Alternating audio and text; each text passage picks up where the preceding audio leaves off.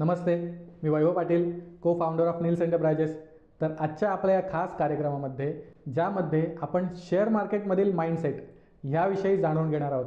तर ह्याविषयी आपल्याला मार्गदर्शन करण्यासाठी आपल्यासोबत आहेत निलेश पाटील सर नमस्ते सर आपलं या कार्यक्रमात स्वागत आहे. नमस्ते. तर विषयाला आपण सुरुवात करणार आहोत. तत्पूर्वी आपण सरांची थोडक्यात ओळख देखील करून घेऊया.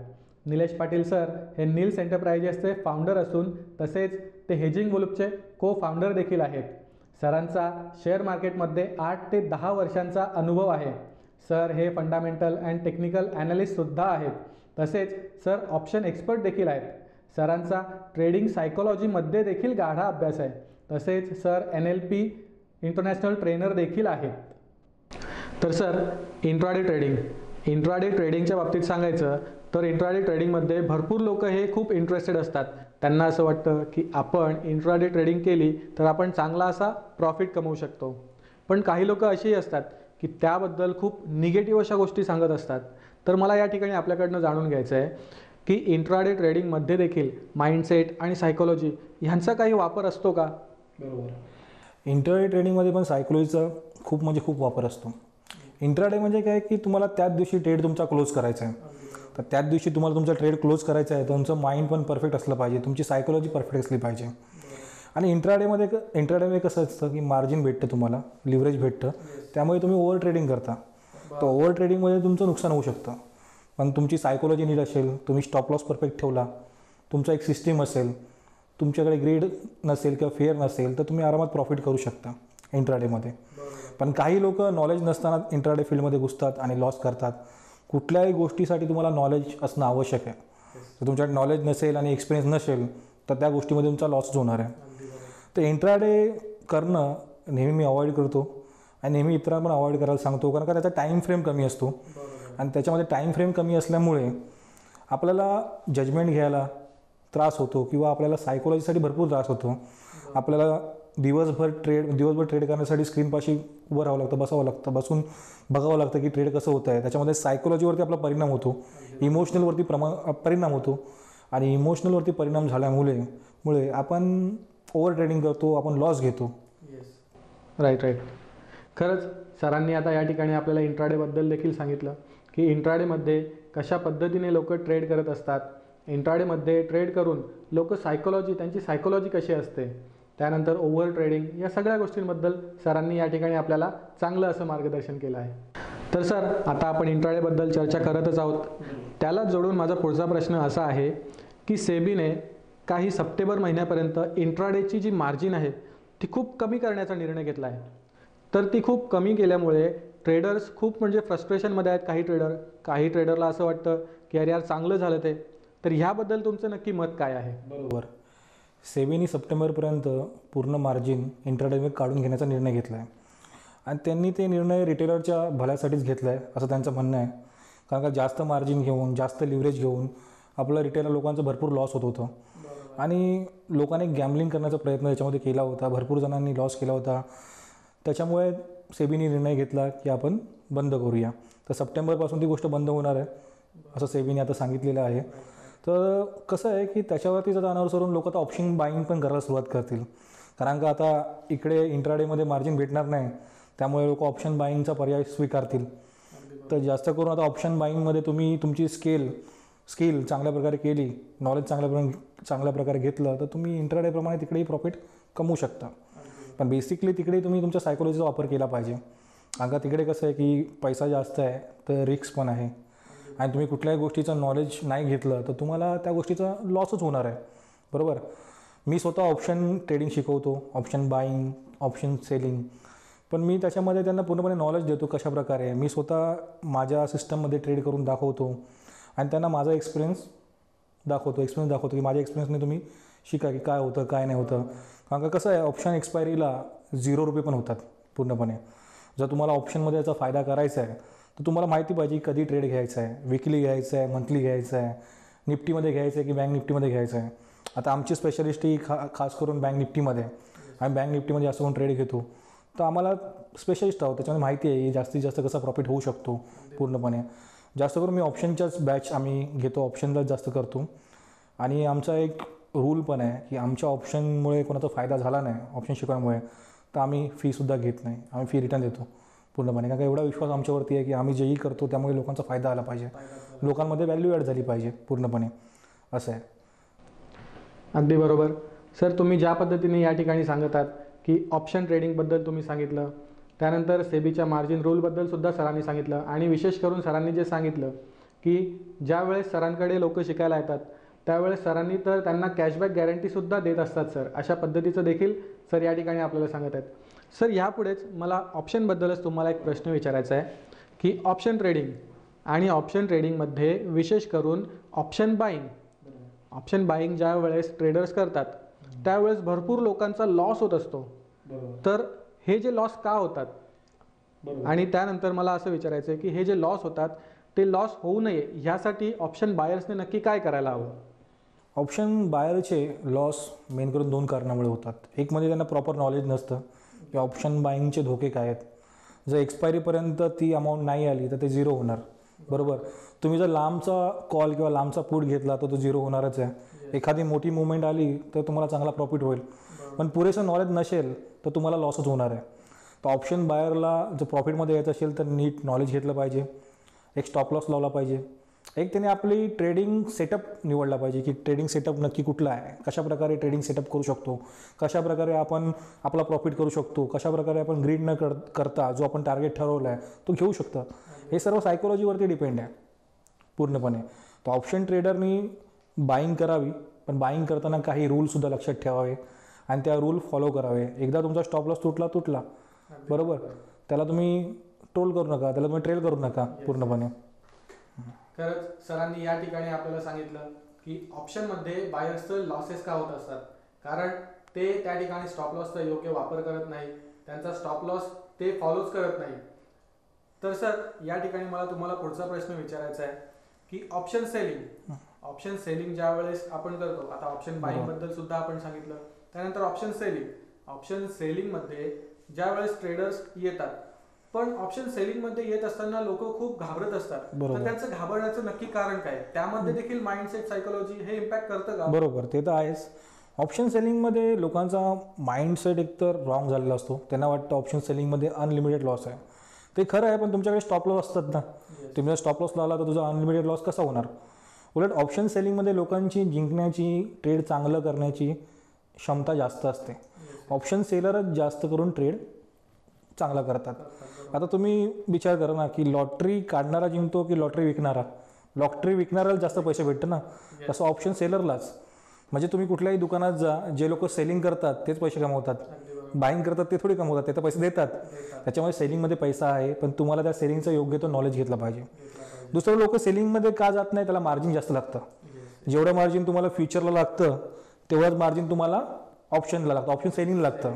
पण ऑप्शन बाईंगला आपल्याला जास्त मार्जिन लागत नाही. बरोबर. त्याच्यामुळे आपण ऑप्शन बाईंगमध्ये जातो. त्याच्यामध्ये जास्त मार्जिन नसतं. बरोबर. पण ऑप्शन सेलिंगमध्ये मार्जिन तुम्हाला फ्युचर एवढंच भरावं लागणार आहे. त्याच्यामुळे लोक त्याच्यामध्ये जात नाही. लोकांना जास्त प्रॉफिट पाहिजे असतं आणि त्यांना ऑप्शन बाईंगमध्ये दिसतं ते. अगदी बरोबर सर. तर सरांनी या ठिकाणी आपल्याला सांगितलं की सेलिंगमध्ये लोक का जात नाही? म्हणजे त्यांचं घाबरण्याचं कारण काय? तर आपण त्या ठिकाणी पाहू शकतो की जे मार्जिन आहे ते मार्जिन खूप मोठ्या प्रमाणात लागतं. त्यामुळे ऑप्शन सेलिंगमध्ये सुद्धा लोकांचं जे प्रमाण आहे ते खूप कमी आहे. आणि सरांनी ते देखील सांगितलं की ऑप्शन सेलिंग एक असं ठिकाण आहे की ज्या ठिकाणी तुम्हाला प्रॉफिट मार्जिन खूप जास्त आहे. प्रॉफिट मार्जिन म्हणण्यापेक्षा तुमचे विनिंग चान्सेस खूप जास्त आहेत. राईट सर येस यानंतरच माझा पुढचा प्रश्न असा आहे की फ्युचर्स आता ऑप्शन सेलिंग ऑप्शन बाईंग ह्या व्यतिरिक्त फ्युचर्स देखील आहे. फ्युचर्समध्ये देखील बाईंग अँड सेलिंग होते. आता ह्यामध्ये फ्युचर्समध्ये जर आपण विचार केला तर फ्युचर्समध्ये सुद्धा लोक लोकांचं जे प्रमाण आहे ते ऑप्शन बाईंग किंवा सेलिंग म्हणजे ऑप्शन आणि फ्युचर ह्यामधलं जे आपण कंपॅरिझन केलं तर ऑप्शनमध्ये ट्रेडर्सचं प्रमाण खूप जास्त आहे कम्पॅरेटिव्हली फ्युचर्समध्ये. तर असं का होतं? फ्युचर्समध्ये काय असतं की मार्जिन जास्त लागतं आणि ऑप्शन बाईंगमध्ये प्रीमियम असतं आणि ते खूप कमी असतं. फ्युचर मार्जिनच्या मानात भरपूर कमी असतं. त्याच्यामुळे लोक फ्युचरमध्ये जास्त ट्रेडिंग करत नाही. बाय किंवा सेल करत नाही पण ऑप्शनमध्ये बाईंग करतात प्रीमियम कमी असतं. पण ऑप्शनमध्ये सेलिंगला मात्र प्रीमियम आपला मार्जिन जास्त असतं. त्याच्यामुळे फ्युचरमध्ये लोक जास्त करून बाईंग सेलिंग करत नाही. अगदी बरोबर. तर खरंच सरांनी जे सांगितलं की फ्युचर्समध्ये आणि ऑप्शनमध्ये ट्रेडिंगचं जे प्रमाण आहे म्हणजेच ट्रेडर्सचं जे प्रमाण आहे ते खूप वे वेरी असतं. हे असं का होतं? कारण त्यांनी सरांनी ज्या ज्या पद्धतीने आपल्याला सांगितलं की फ्युचर्समध्ये आपल्याला मार्जिन जास्त द्यावी लागते आणि ऑप्शनमध्ये जी बाईंग आहे त्यामध्ये मार्जिन खूप कमी द्यावी लागते. त्यामुळे जे ट्रेडर्सचं प्रमाण आहे ते खूप कमी असतं. आणि सर आपले जे आहेत ते ऑप्शनमध्ये एक्सपर्ट आहेत. त्यामुळे कोणालाही जर ऑप्शन ट्रेडिंगबद्दल जाणून घ्यायचं असेल तर आपण सरांना संपर्क साधू शकता आणि आपण योग्य ते नॉलेज त्यांच्याकडनं घेऊ शकता. तर सर माझा पुढचा प्रश्न असा आहे की भरपूर लोक आहेत जे टेक्निकल ॲनालिसिसचा वापर करतात.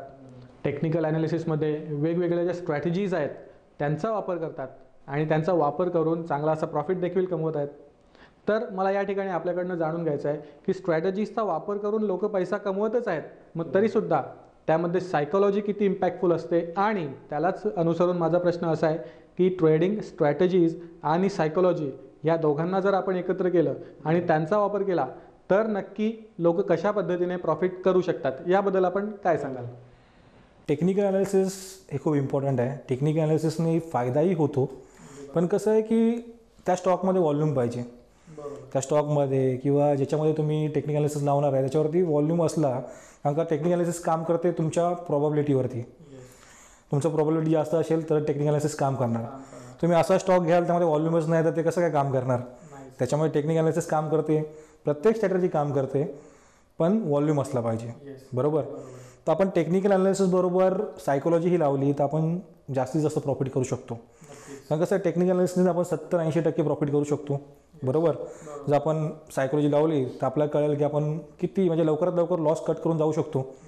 नाही तर आपण काय करतो की लॉस कटच नाही करत. आपल्याला वाटतं की आपण बरोबर होणार आपण बरोबर होणार. आपला काय होतं आपण होपमध्ये असतो पूर्णपणे. की नाही माझा ट्रेड बरोबर येणार. त्याच्यामुळे आपण लॉस कट नाही करत. किंवा काय होतं की आपण स्टॉप लॉस लावला असू जर शंभरला ट्रेड घेतला आपण नव्वदला स्टॉप लॉस लावला आहे तरी आपण तो स्टॉप लॉस ऐकत नाही मानत नाही परत तो ऐंशीला आणतो. परत आपण बोलतो सत्तरला आणतो आणि आपण भरपूर लॉस करून टाकतो. कारण का आपण स्टॉप लॉस फॉलो करत नाही. कारण का आपल्याला वाटतं की नाही ट्रेड इथून फिरेल. बरोबर? आपला जो लॉस झाला तो तरी कवर होईल. आपण ब्रेक इव्हनपर्यंत तरी येऊ. त्याच्यामुळे ते नाही पॉसिबल होत. मग तुम्ही सायकोलॉजीचा वापर केला तर तुम्ही रूल्स फॉलो करता. रूल्स म्हणजे रूल्स एकदा तुमचा स्टॉप लॉस हिट झाला ठीक आहे तुम्ही दुसरा ट्रेड घ्या. बरोबर. तुम्ही जर रेशोनी काम केलं म्हणजे लॉस झाला तर एक रुपया प्रॉफिट झाला तर दोन रुपये म्हणजे one is to one is टूनी profit झाला शंभर रुपये लॉस झाला पन्नास रुपये. बरोबर? One is to one is three यांनी काम केलं तर तुम्ही प्रॉफिट होणार आहे. तुम्ही समजा दहा ट्रेड टाकले आणि दहा ट्रेडमध्ये तुम्ही जर सात ट्रेड विन होत आहे तीनच तुमचा लॉस होतो तरी पण तुम्ही फायद्यामध्येच राहणार आहे. बरोबर. आहे. तुम्ही दहामधले पाच ट्रेड विन केले पाच लॉस केले तरी तुम्ही प्रॉफिटमध्ये राहणार. कसं? कारण का तुमचा वन इज टू रेशो तुमचा रेशो जास्त आहे. तर अशा भरपूर सायकोलॉजी स्ट्रॅटर्जी आहेत त्यांनी तुम्ही चांगल्या प्रकारे काम करू शकता. पण माणसाचा माइंड आहे त्याला लवकरात लवकर पैसे पाहिजे असतं ग्रीड म्हणजे तुमचा लॉस आज झाला तर तुम्हाला तो लॉस आजच्याच कव्हर करायचा आहे. बरोबर? की माझ्याच पैसे गेलेत मला आजच्याच कव्हर करायचे आहेत. त्याच्यामुळे काय होतं? तुम्ही ओव्हर ट्रेडिंग करता. तुम्ही इंट्राडेचे भरपूर पोझिशन घेता. तुम्ही जास्तीत जास्त पोझिशन घेता. तुम्ही क्वांटिटी वाढवता. तर जास्तीत जास्त लॉस तो तुमचा होतो तो पोझिशन वाढवल्यामुळे होतो. की तुम्ही चुकीची पोझिशन घेता चुकीच्या क्वांटिटी घेता की तुम्हाला माहिती आहे की आपल्याला एवढं नाही जमणार. एवढे क्वांटिटीने आपण मॅनेज नाही करू शकत. आपण ॲडजस्टमेंट नाही करू शकत. तुम्ही ट्रेडिंगमध्ये कुठलाही ट्रेड घेतला तर तुम्हाला ॲडजस्टमेंटसुद्धा करावी लागते. बरोबर? ॲडजस्टमेंट नाही केली हेजिंग नाही केली तर तुम्ही कशा प्रकारे प्रॉफिट करणार म्हणजे पहिला मुद्दा हा आहे की तुम्हाला ट्रेडिंगमध्ये इंट्राडे करा पोझिशनल करा स्विंग करा कुठलंही करा. तुमच्याकडे एक प्लॅन पाहिजे. बरोबर? एक स्ट्रॅटर्जी पाहिजे. प्लॅन नंतर तुम्हाला माहीत पाहिजे की माझा स्टॉप लॉस कुठे आहे मला कुठे कटआउट करायची पोझिशन कुठे पोझिशन वाढवायचे हे तुम्हाला माहीत पाहिजे. बरोबर. आणि ह्या हे काम तुमचं सायकोलॉजीने होणार आहे. तुम्हाला लॉस आहे असेप्ट करायला लागणार. हा माझा लॉस झाला आहे बरोबर. आणि तुम्हाला इथून निघून जायला लागणार आहे. जर तुम्ही तसेच राहिले तुमचं पूर्ण कॅपिटल व्हॅनिश होणार. कॅपिटल व्हॅनिश झालं तर पुढे तुम्ही कसं काय करू शकणार? बरोबर? तर त्यामुळे इंट्राडे असो पोझिशनल असो किंवा स्विंग ट्रेडिंग असो त्यामध्ये तुम्हाला तुमचे रूल्स फॉलो करायचे आहेत. त्यासाठी तुम्ही तुमचे एक नोट्स बनवा जर्नल बनवा. त्या जर्नलमध्ये लिहा की तुम्ही काय काय लॉस करताय तुमच्या कुठे कुठे चुका होत आहेत आता मी सुद्धा जर्नल तयार केलं की माझ्या कुठे चुका होत आहेत अगं प्रत्येक ट्रेडर चुकीतनं शिकत असतो. आजही माझ्या चुका होत आहेत आजही मी लिहून ठेवतोय. अगं चुकीमधूनच तुमचं प्रॉफिट होणार. बरोबर? आजही कुठलाही ट्रेडर नाही तो शंभर टक्के प्रॉफिटमध्ये किंवा शंभर टक्के त्याचे ट्रेड बरोबर येतात. सर्वांचे ट्रेड चुकतात. पण ते काय करतात? की कमी लॉसमध्ये निघतात आणि जास्त प्रॉफिटमध्ये राहतात. बरोबर? सर्व ट्रेड असं कुठलाच सर्व ट्रेडर असे कुठले ट्रेडर नाही शंभर टक्के प्रॉफिट होणार आहे. लॉस होणारच आहे मग ते लॉस मॅनेज करतायत. कमीत कमी लॉसेसमध्ये निघतायत जास्तीत जास्त प्रॉफिटमध्ये बाहेर येतात. का? कारण का ते सायकोलॉजी फ्री आहेत पूर्णपणे. तुम्ही सायकोलॉजी टेन्शनमध्ये आहेत तुम्ही लोननी पैसे आणलेत तुम्हाला लोकांचे कर्ज द्यायचे आहेत तुम्हाला पैसे लगेच डबल करायचे आहेत तुम्हाला पाच लाखाचे पाच लाख डबल करायचे आहेत एका महिन्यात कसं होणार? जो मोठा ट्रेडर आहे तो पण विचार करतो की महिन्याला मला चार टक्के जरी आले तरी भरपूर झाले. बरोबर? कितीतरी ट्विटरवरती मोठे मोठे ट्रेडर आहे किंवा कुठे कुठे भरपूर ठिकाणी मोठे ट्रेडर आहेत त्यांच्याकडे जाऊन विचारा की चार टक्क्यापेक्षा जास्त विचार करत नाहीत. बरोबर? आणि आपण विचार करतो की माझे पैसे डबल झाले पाहिजे लगेच झालं पाहिजे. कसं पॉसिबल आहे? तुम्हाला जॉबमध्ये किती इन्क्रिमेंट भेटते? वर्षाला दहा पर्सेंट म्युच्युअल फंडमध्ये किती भेटतं? दहा बारा पर्सेंट बरोबर तुम्हाला एफ डीमध्ये किती भेटतात? पाच सहा टक्के. तर ट्रेडिंगमध्ये कसं काय होऊ शकतं? ट्रेडिंगमध्ये जो बेस्ट परफॉर्मन्स आहे जो वॉरन बफेटचा तो बावीस पॉईंट आठ पर्सेंटचा आहे कंपाऊंडिंग वर्षाला. तर त्यामुळे इंटरडे ट्रेडिंग ही चांगली आहे सगळे ट्रेडिंग चांगले आहेत पण तुम्हाला तुमचे रूल्स माहीत पाहिजे आणि तुम्ही तुमचे रूल्स फॉलो केले पाहिजे. अगदी बरोबर सर सरांनी आता आपल्याला जे सांगितलं की टेक्निकल ॲनालिसिस त्यानंतर ज्या स्ट्रॅटेजीज आहेत त्यामध्ये जो आपला सायकोलॉजी आहे जे आपलं माइंडसेट आहे ते किती इम्पॅक्टफुल असतं. त्यानंतर सरांनी वेगळे वेगळे एक्झाम्पलसुद्धा दिले की वॉरन बफेंचं देखील त्यांनी सांगितलं की ते किती पर्सेंटने आपला जो ट्रेड आहे ते घेतात. त्यानंतर त्यांचा किती सी ए जी आर आहे त्या व्यतिरिक्त त्या सरांनी हे देखील सांगितलं की मार्केटमध्ये तुम्हाला जर चांगला प्रॉफिट करायचा असेल तर जास्त प्रॉफिट नको आहे आता मार्केटमधले चांगले चांगले ट्रेडर्स आहेत ते हार्डली फोर टू फाय पर्सेंटच्या प्रॉफिटमध्ये खुश असतात. तर सरांनी जे आपल्याला सांगितलं खूपच चांगली म्हणजे इन्फॉर्मेटिव्ह अशी खूपच माहिती या ठिकाणी सर देत आहेत. तर सर आज आपण खूप सक्सेसफुल ट्रेडर आहात इन्व्हेस्टर आहात तर आपल्या प्रेक्षकांना जाणून घ्यायचं आहे की तुम्ही कशा पद्धतीने ट्रेडिंग करता त्यानंतर इन्व्हेस्टिंग करता. तर आपल्या प्रेक्षकांना तुमची जी ट्रेडिंग स्ट्रॅटजी आहे तर त्याबद्दल तुम्ही नक्की काय सांगाल? नक्कीच मला आवडेल. कसं आहे की जेव्हा मी स्टार्टिंगला ट्रेडिंग करत होतो स्टार्टिंगचे दोन वर्ष मला खूप प्रॉब्लेम झाला. जसं सर्वांनाच होतं. तुम्ही करत असाल आपले प्रेक्षकही करत असतील त्यांना खूप प्रॉब्लेम होतो. गायडन्स प्रॉपर भेटत नाही. आपल्या सगळे ॲडव्हर्टाईजमेंट दिसतात की दोन दिवसात शिका चार दिवस शिका. इंट्राडेमध्ये रोज चार हजार प्रॉफिट करा पाच हजार प्रॉफिट करा. आपण सर्व कोर्सेस करतो. ऑनलाईन कोर्सेस ऑफलाईन कोर्सेस किंवा वाचन करतो. फायदा होतो. काही ना काही आपल्याला त्याच्यामधून मिळतं पण जे पाहिजे ते मिळत नाही. म्हणजे आपल्याला नाही म्हणजे प्रॉफिट पाहिजे. बरोबर? तर जसं प्रॉफिट पाहिजे तसं भेटत नाही आणि इनडायरेक्टली आपला लॉसच होत जातो. बरोबर? जे पाहिजे ते आपल्याला भेटत नाही. आपल्याला वाटतं काहीतरी जादू आहे. हे लोक पैसे कमवतात तर आपण पण कमवू. त्याच्यामुळे आपण जितके दिसेल तिथे दिसेल तिथे ऑनलाईन कोर्सेस ऑफलाईन कोर्सेस पुस्तकं वाचन जो भेटेल ट्रेडिंगचं त्याला विचारतो आहे कसं काय कसं करायचं. पण आपल्याला जे हवं आहे ते आपल्याला भेटत नाही. आणि शिकेपर्यंत आपले दोन तीन वर्ष अशी वाया जातात आणि दोन तीन वर्षात आपलं कॅपिटलसुद्धा वाया जातं. माझंही सेम झालं. मलाही पहिलं वाटलं की काहीतरी जादू आहे. लगेच आपण पैसे डबल करू किंवा लगेच आपल्याला रोजच्या रोज चार पाच हजार रुपये भेटतील. भरपूर पैसे भेटतील. पण असं काय नसतं. ट्रेडिंगमध्ये तुम्हाला मेहनत करायला लागणार. ट्रेडिंग हा एक बिझनेस आहे. तुम्हाला खूप मेहनत करावी लागेल तुम्हाला शिकावं लागेल तुम्हाला नॉलेज घ्यावं लागेल. पूर्णपणे. तसं मी नॉलेज घेतलं मी खूप वाचन केलं मी खूप कोर्सेस केले सगळीकडून मला काही ना काही शिकायला मिळालं. पण सर्वात जास्त मला शिकायला मिळालं ते माइंडसेट की तुमचा माइंडसेट आणि सायकोलॉजी आणि तुमचं इमोशनल इमोशन हे जर नीट असेल तर तुम्ही प्रॉफिट करू शकता. इमोशन हे खूप इम्पॉर्टंट आहे. की ट्रेडिंग अवर्समध्ये मार्केट चालू असताना जेव्हा तुम्हाला तुमचा ट्रेड आहे तो लॉसमध्ये दिसतो आहे आणि तो लॉसमध्ये बघायचा आहे. आणि तेव्हा तुमची सायकोलॉजी काय असेल? ही सायकोलॉजी खूप म्हणजे खूप इम्पॉर्टंट आहे की त्या सायकोलॉजी हँडल करणं. किती लोक ट्रेडमधून लॉस करून बाहेर निघतात किती लोक पूर्ण कॅपिटल मॅनेज करतात किती लोक बोलतात की नाही नाही परत करायचंच नाही पूर्णपणे. तर माझं असं आहे की मी पूर्णपणे नॉलेज घेतलं की नक्की काय तर मला कळलं फर्स्ट ऑफ ऑल की फर्स्ट थिंग की मला कळलं की फिफ्टी फिफ्टी आहे. एक तर लॉस होणार किंवा प्रॉफिट होणार. मी कुठली स्ट्रॅटर्जी वापरली सर्वांचं काही ना काही परसेप्शन असतं. स्ट्रॅटर्जी परसेप्शन आहे. हिस्ट्री ऑलवेज रिपीट होते. बरोबर? तसं मी कुठली स्ट्रॅटर्जी वापरली तर मला सत्तर ते ऐंशी टक्के प्रॉफिट मिळणारच आहे. म्हणजे दहामधले माझे सहा सात ट्रेड बरोबर येतील. बरोबर? फक्त मला मॅनेज करायचा तो लॉस तर सायकोलॉजीने मी लॉस मॅनेज करायला शिकलो. की माइंडसेटने मी लॉस मॅनेज करायला शिकलो की लॉस मॅनेज कसा करायचा आहे. बरोबर? त्यासाठी मला माझ्या एन एल पी कोर्सचा खूप फायदा झाला. सायकोलॉजीचे कोर्स केले त्याचा फायदा झाला. मी स्वतः खूप ट्रेडिंग केले. त्या अनुभवाचा फायदा झाला. की काय असतं? मी खूप लोकांकडनं ट्रेडिंग शिकलो. जे मार्केटमध्ये आत्ता पण उपलब्ध माणसं आहेत त्यांच्या सर्वांकडनं मी कोर्स शिकलो आहे सर्वकडनं.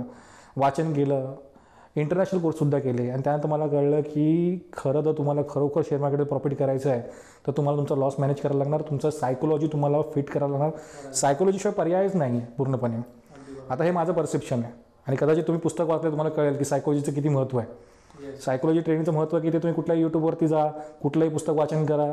पण ते कोणी शिकू शकत नाही. कारण त्याला खूप टाईम द्यावा लागतो. आणि ती एक दोन दिवसाची प्रोसेस नाही. ती रिपीट रिपीट प्रोसेस करावी लागते. तुम्हाला कोणतरी चांगला मेंटर मिळावा लागतो. त्याचे ट्रेड तुम्ही बघून त्याचे ट्रेड तुम्हाला एक्सपिरियन्सने शिकावं लागतं. कसं आहे की ते टाईम कॉस्टली आहे आणि आजकाल कोणाला टाईम नसतं पूर्णपणे. आणि तो जर चांगला प्रॉफिट करतो आहे तर तो तुम्हाला कशाला एवढा टाईम देईल? बरोबर की नाही? त्याच्यामुळे टाईम कॉस्टली असल्यामुळे आपल्याला स्वतःहून जाऊन त्या माणसांकडनं शिकावं लागतं त्या पुस्तकं वाचन करावं लागतात स्वतःहून आपल्या स्ट्रॅटर्जी आपल्याला निवडावं लागतात. जसं की तुम्ही स्वतःही करू शकतात. तुम्ही स्वतःही तुमचा लॉस मॅनेज केला तुमचे इमोशन मॅनेज केले तर तुम्ही प्रॉफिटमध्ये येऊ शकता. तर सरांनी या ठिकाणी आपल्याला खूपच चांगलं असं मार्गदर्शन केलं की ज्यामध्ये त्यांनी त्यांचा जो जीवन प्रवास आहे शेअर मार्केटमधला त्यांचा प्रवास आहे तो सांगितला. खूपच इंटरेस्टिंग असा त्यांचा प्रवास आहे. आणि त्यानंतर त्यांनी त्यांचा जो सक्सेस फॉर्म्युला आहे तो देखील आपल्यासोबत शेअर केला. तर सर आपण N L P international trainer आहात. आणि एन एल पीचा वापर करून आज आपण एवढे सक्सेसफुल ट्रेडर देखील आहात. तर प्रेक्षकांना जाणून घ्यायचं आहे की एन एल पीचा वापर करून नक्की ट्रेडिंग कशी केली जाते आणि त्याचा वापर करून आपण आपले ट्रेड कसे सेफ करू शकतो आणि आपण कसा प्रॉफिट करू शकतो. तर याबद्दल तुम्ही काय सांगाल? एन एल पीचा वापर मोस्टली इमोशन आपले कंट्रोल करण्यासाठी करतो आपण. मेस्ली मोस्टली आपण जेव्हा ट्रेड करतो त्या खूप इमोशन येतात. फेअर येतो ग्रीड येतो. प्रॉफिट झाला तर आपण खुश होतो. लॉस झाला तर दुःखी होतो ते इमोशन कंट्रोल नाही केले तर आपण रिवेंज ट्रेडिंग करतो. रिवेंज ट्रेडिंग म्हणजे आपला लॉस झाला तर आपण जास्तीत जास्त ट्रेड करायचा प्रयत्न करतो. जास्तीत जास्त ट्रेड केला तर आपलंच नुकसान होतं. पण एन एल पीने आपलं माइंड कूल राहतं आपण चांगलं स्टेबल राहतो. आपण रिवेंज ट्रेडिंग करत नाही आपण एक्स्ट्रा ट्रेडिंग करत नाही. आपण एकदम माइंड एकदम आपलं कूल राहतं त्याच्यामुळे. माइंड एकदम शांत राहतं आपलं. आणि त्यानुसार आपण आपली ट्रेडिंग चांगल्या प्रकारे आपण करू शकतो. एन एल पीने काय होतं की आपण इमोशन कंट्रोल करतो. बरोबर? आपली जी ट्रेडिंग सायकोलॉजी आहे ती आपण सुधारवतो ती चांगल्या प्रकारे करतो. आता त्यासाठी आपण आपले नेक्स्ट आपले भाग होतील त्याच्यावरती जास्त चर्चा करू आपण. त्याच्यामध्ये डीपली आपण त्याच्यामध्ये चर्चा करू. अगदी बरोबर सर तर या ठिकाणी आपल्याला सरांनी खूप चांगलं असं मार्गदर्शन केलं.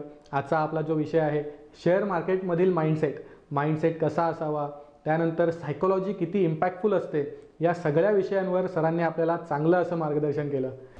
तर सर खूप खूप धन्यवाद की आपण या ठिकाणी आलात आणि खूप छान असं मार्गदर्शन आपण केलं. शेअर मार्केट म्हणजे काय? त्यानंतर शेअर मार्केटमधील माइंडसेट या विषयावर सरांनी खूप छान असं मार्गदर्शन आपल्याला केलं. सरांकडून अधिक माहिती मिळवण्यासाठी तुम्ही सरांना संपर्क साधू शकता. सर सोशल मीडियावर देखील ॲक्टिव्ह असतात. त्यामुळे तुम्ही सरांना सोशल मीडियावर देखील जॉईन होऊ शकता. तर सर पुन्हा एकदा खूप खूप धन्यवाद की आपण या ठिकाणी आपला अमूल्य असा वेळ दिला. त्यामुळे खूप खूप धन्यवाद सर.